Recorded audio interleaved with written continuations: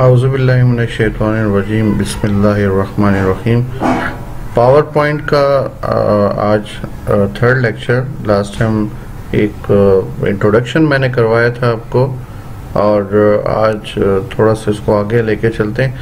एक छोटी सी प्रेजेंटेशन तैयार की थी जिसमें हमने पाकिस्तान के जो प्रोविंसेस है, उसको प्रेजेंट करना था। ठीक है? ये प्रेजेंटेशन वाइज मैंने काम भी दिया था इस हवाले से कि अपनी प्रेजेंटेशन कंप्लीट करके मुझे सेंड करनी है। तो उम्मीद है कि मुझे मिल जाएगी आज। तो इसको आगे मज़ीद लेके चलते हैं। यहाँ पर अभी हम लोगों ने काम किया है कि सिंपल आपने देखा कि मैंने पिक्स लगाई है। पिक्स लगाने के बाद टेक्स्ट लगाए, कुछ बुलेट्स लगाए हैं। और उसके बाद मैंने इसको फुल स्क्रीन पे शो करवाया। तो अभी हम लोग देखते हैं कि आप जब अपनी प्रेजेंटेशन है, जब उसको कंप्लीट कर लेते हो तो कंप्लीट करने के बाद किस तरीके से आप उसको शो करवाते हो? तो इसके लिए एक, हम लोग यूज़ करते हैं। मैं साथ साथ लिख के भी बताता जाता हूँ आपको। जब भी आप प्रेजेंटेशन बनाते हैं और उसको फुल स्क्रीन पे आपने शो करवाना हो, यानी उसका जो फाइनल व्यू शो करवाना हो, जिसे हम लोग स्लाइड शो बोलते हैं, और इसकी जो शॉर्ट की होती है, वो होती है F5 अब ये F5 से क्या होगा? इससे क्या होगा कि आपकी जो स्लाइड है, जहाँ पर भी आप काम कर रहे हो, यानी प्रेजेंटेशन के किसी भी स्लाइड के ऊपर काम कर रहे हो तो ये आपकी स्लाइड्स जो है शो फ्रॉम बिगनिंग ठीक है? बिल्कुल स्टार्ट से जो है, आपको ये शो करवाएगा। और यानी इसमें एक और भी है हमारे पास।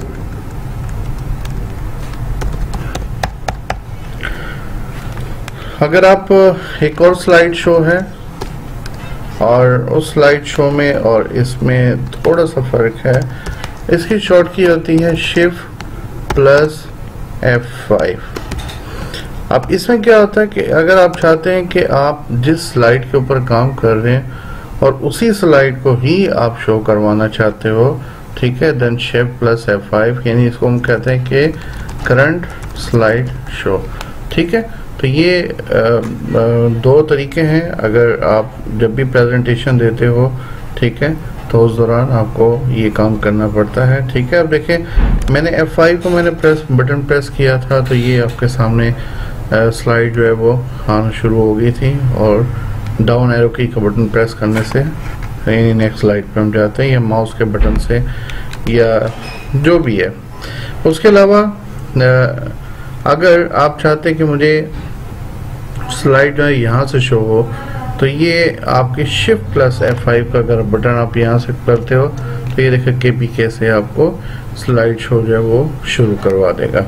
इसी तरीके से अगर आप अपनी स्लाइड्स को थोड़ा सा खूबसूरत बनाना चाहते हो, मज़ीद बेटर करना चाहते हो, ठीक है? तो इसके लिए हम लोग एक वर्ड यूज़ करते हैं एनिमेशन का, ठीक है? एनिमेशन जो है होती है बेसिकली मूवेबल ऑब्जेक्ट्स को बोला जाता है, ठीक है? उसमें आपका टेक्स्ट आपकी स्लाइड्स और आपके जो भी मटेरियल होता है, ठीक है? उसमें थोड़ी सी हरकत आ जाती है, ठीक है? उसके इन और आउट जो है, वो थोड़े से खूबसूरत दिखते हैं, ठीक है? तो थोड़े से अट्रैक्टिव होते हैं। तो इसको हम लोग कैसे करेंगे? अच्छा सबसे पहले हम लोग मैं डिस्कस करता हूँ। इसमें स्लाइड ट्रांजिशन को डिस्कस करते हैं। स्लाइड ट्रांजिशन क्या है?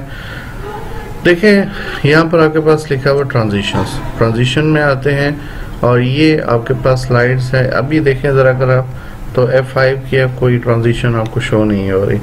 लेकिन अगर यहाँ से मैं कोई एक ट्रांजिशन लेता हूँ तो अभी आपने देखा, इसमें थोड़ी सी चेंजिंग आपको दिखाई दे रही है। ठीक है? ये देखिए। इसे हम लोग कहते हैं स्लाइड ट्रांजिशन बोलते हैं। स्लाइड ट्रांजिशन हमेशा जो है स्लाइड के ऊपर ही लगती है।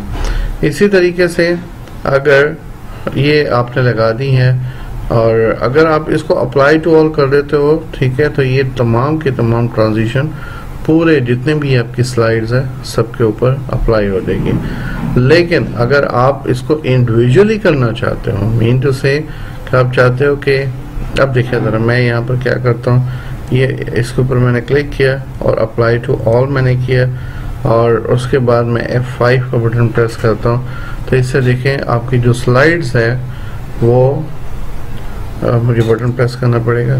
ठीक है? ये देखें, आपकी जो स्लाइड्स है वो आपको चेंज होती हुई दिखाई दे रही है लेकिन एक ही उसके ऊपर ट्रांजिशन हमारी लगी हुई है। ठीक है? मैं स्केप करके ख़त्म करता हूँ। फ़र्स्ट स्लाइड में जाता हूँ। फ़र्स्ट स्लाइड पे मैंने ये लगाए। सेकंड पे मैं कहता हूँ कि ये लगा दूँ। थर्ड पे मैं कहता हूँ कि ये लगा दूँ। ठीक है? फोर्थ पे मैं कहता हूँ कि यहाँ पर ये रिपल है, ये लगा देता हूँ। सिक्स वाले पे मैं कहता हूँ यहाँ पर कि फ्लिपिंग है। ये लगा देता हूँ, ठीक है। उसके बाद यहाँ पर जूम कर देता हूँ इसको। सेवन के ऊपर यहाँ पर ये विंडो वाला लगा देता हूँ। एट के ऊपर कट वाला लगा देता हूँ। और नाइन जो है, सबसे लास्ट है, उसके ऊपर ये वाला लगा देता हूँ, ठीक है। तो अब देखें अच्छा दूसरी बात यह है कि अभी आपने देखा कि आपकी जो स्लाइड्स है, जब आपको शो होती है तो क्या होता है उसमें कि आपको कोई बटन प्रेस करना पड़ता है। मैं चाहता हूँ कि ये खुद ब खुद चले।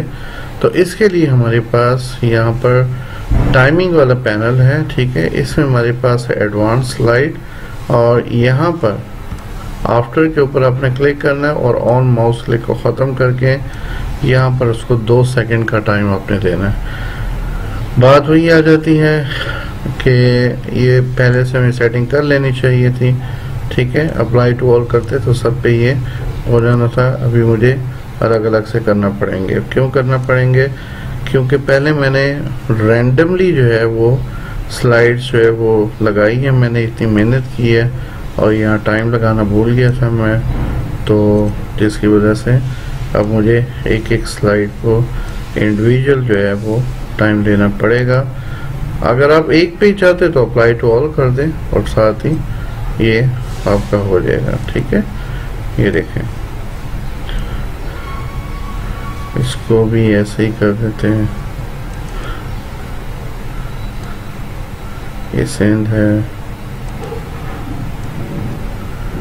और ये थैंक यू इस सेंध की स्पेलिंग कर देता हूँ ठीक है S I N T H Sindh.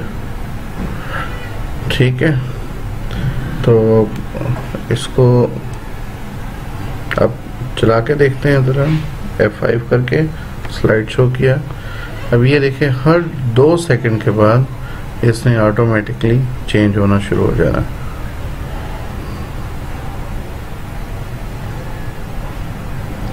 तो ये हर स्लाइड के ऊपर डिफरेंट ट्रांजिशंस हमारी है और सेम भी आपकी वर्किंग है, जो भी आपको मैंने दिखाई है। ठीक है? ओके उसके बाद आगे इसमें क्या काम है? अब देखिए, आप क्या करना चाहते हो कि इसी में, अभी एक और हमारे पास ट्रांजिशन है, पहले हम चले उसको डिस्कस कर लेते हैं उसके बाद फिर बाकियों को डिस्कस करेंगे। यहाँ पर हमारे पास जो ट्रांजिशन आपने देखी है, ठीक है तो ये तो हम लोगों ने लगा दी है स्लाइड्स के ऊपर हम लोगों ने लगा दी है। इसके अलावा आपके पास कुछ और भी जो है वो एनिमेशन है, ठीक है, अगर आप उसको लगाना चाहो, ठीक है देन लगा सकते हो। ठीक है, यहाँ पर आपके पास देखो लिखा हुआ एनिमेशन है।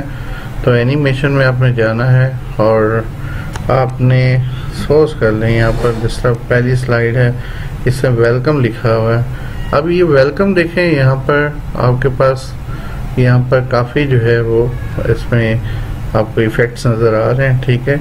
ये देखें मैंने ये किया है इसको, यहाँ मैंने इसको सिलेक्ट किया यहाँ इसको मैंने स्प्लिट किया ठीक है। उसके बाद इसे हम लोग बोलते हैं कस्टम एनिमेशन भी हम लोग बोलते हैं। ये जो एनिमेशन होते हैं, इसको कस्टम एनिमेशन बोला जाता है।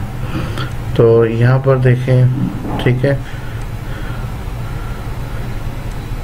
इधर क्लिक किया। जिस जिस के ऊपर आप करना चाहते हो, वहाँ पर आप ये देखें। यहाँ पर क्लिक किया। और ठीक है। तो ये आपके ऊपर डिपेंड करता है कि आप किस तरीके से इसको यूज़ करते हो, ठीक है। उसके बाद देखिए इसे मज़ीद आपकी एनिमेशन आ जाती है, ठीक है। यानी एक एनिमेशन में मज़ीद बहुत ज़्यादा एनिमेशन है, जिस जिसको भी आप यूज़ करना चाहो, वो डिपेंड करता है आपके ऊपर कि आपने कैसे उसको यूज़ करना है। और हर एक की अपनी अपनी ड्यूरेशन भी यहाँ पर आ रही है, ठीक है। तो बाकी इसको यूज़ करें वन बाय वन इसको यूज़ करें साथ साथ प्रीव्यू इसका देखते जाए ठीक है? अब देखिए स्लाइड के ऊपर जो जो चीज़ें हैं, यहाँ से आपने इसका, ये प्रीव्यू जो है, वो चेक कर लिया हुआ तो ये तो थी हमारी एनिमेशन अच्छा अभी दोबारा ट्रांजिशन में जाते हैं, और ट्रांजिशन में जाके हम लोग देखते हैं ज़रा कि हमारे पास जो आपकी जो स्लाइड्स नज़र आ रही है, उसका बैकग्राउंड जो है, अभी आपने देखा कि एक के ऊपर एक बैकग्राउंड है। तो मैं चाहता हूँ कि यहाँ से डिफरेंट जो है वो बैकग्राउंड जो है मैं यूज़ करूँ। ठीक है? अब देखें यहाँ पर मैं आता हूँ, यहाँ यूज़ करता हूँ। तो ये कुछ पैटर्न्स हमारे पास है, ठीक है? तो इसको भी आप लोग यूज़ कर सकते हो। टेक्सचर पेंटिंग है आपकी। ऑनलाइन भी ले सकते हो। यहाँ पर भी अगर आप क्लिक करते हो तो मज़ीद टेक्सचर्स आपके आ जाते हैं ठीक है? तो उसके लिए मैं यहाँ क्लिक कर देता हूँ ठीक है? तो ये आपके पास डिफरेंट किस्म के आ, ये देखिए ये आपके टेक्सचर है ठीक है? ये भी वही जो चीज़ जिस बारे में बात कर रहा था ठीक है? तो आप इसी को कंटिन्यू रखें और नेक्स्ट में हम लोग देखते हैं कि हम लोग साउंड कैसे लगाते हैं, ठीक है? और उसके बाद मज़ीद आगे भी देखेंगे। तब तक के लिए इजाज़त। असलकम वरहमल वर्का